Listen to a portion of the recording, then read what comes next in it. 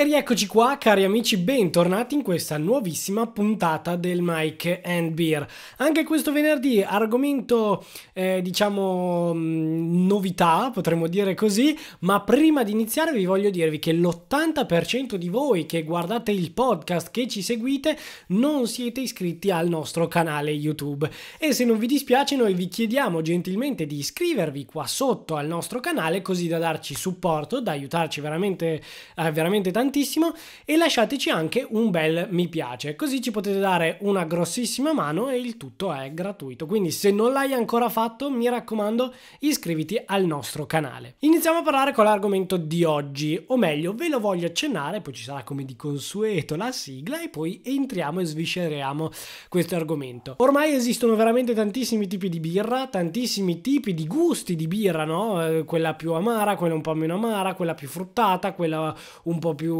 maltata, possiamo dire così. Insomma, veramente una birra per ogni palato. E se vi dicessi che da poco tempo, da circa un paio di mesetti, si può addirittura avere la propria birra personale, che probabilmente ci piacerà al 100% grazie al DNA.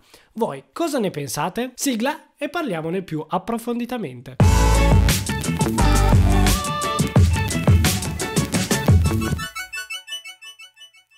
Come dicevo poco fa, appunto, ormai ci sono talmente tanti tipi di birra che praticamente potremmo avere la nostra birra personale a livello commerciale che appunto ci piace di più in assoluto. Una birra adatta a ogni singola persona che conosciamo.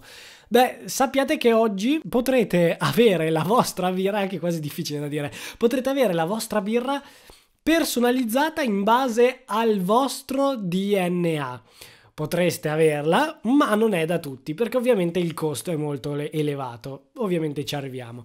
Ci troviamo a Londra, dove un birrificio, meglio il Main Time Brewery, con il suo proprietario che è Sharan Giblin, spero di averlo pronunciato correttamente, ha avuto questa mm, brillante idea di creare appunto le birre personalizzate ehm, con il proprio DNA, o meglio, viene creata la birra di questo birrificio appositamente per te che fai richiesta con il tuo DNA.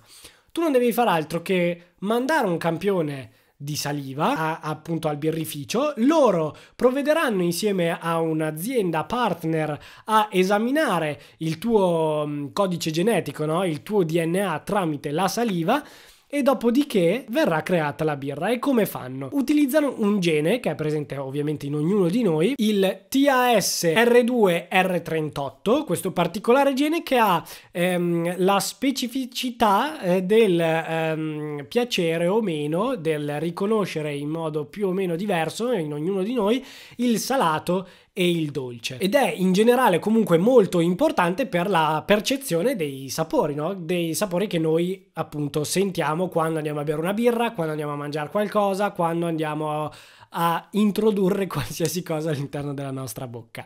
Questo recettore, che appunto, anzi questo, questo gene, meglio, eh, più correttamente, eh, viene elaborato e il birrificio si occuperà di creare la vostra birra.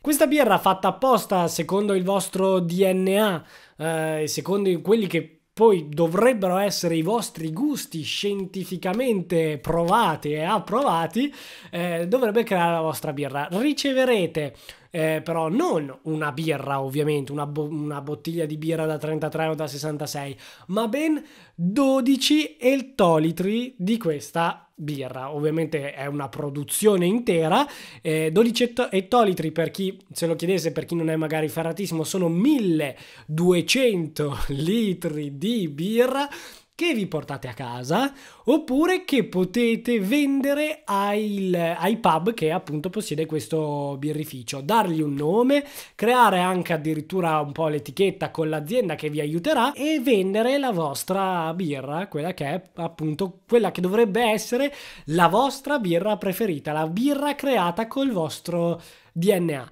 Il prezzo di tutto questo si aggira intorno alle 25.000 sterline, che dovrebbero essere più o meno 26.000 euro. Quindi, come dicevo, non è un prezzo adatto a tutti, ma è sicuramente qualcosa di interessante. Pensate appunto di avere 1200 litri della vostra birra che sicuramente vi piacerà da portarvi a casa o addirittura da vendere, quindi anche un, un piccolo investimento possiamo dire. Tra l'altro, una volta che viene prodotta, prima di sganciare la grana, potremmo dire così, il birrificio vi fa assaggiare giustamente la birra che ha prodotto e nel caso in cui non sia di vostro gradimento, beh, se la terranno loro e probabilmente la venderanno. Questo non è precisato, ma penso proprio che sia così, perché sennò perderebbero in generale un sacco di soldi. Voi cosa ne pensate? Nel caso aveste 26.000 euro da, da buttare, tra virgolette, comunque da utilizzare anche da investire, tra virgolette. Eh, creereste questa vostra birra con il vostro test del DNA?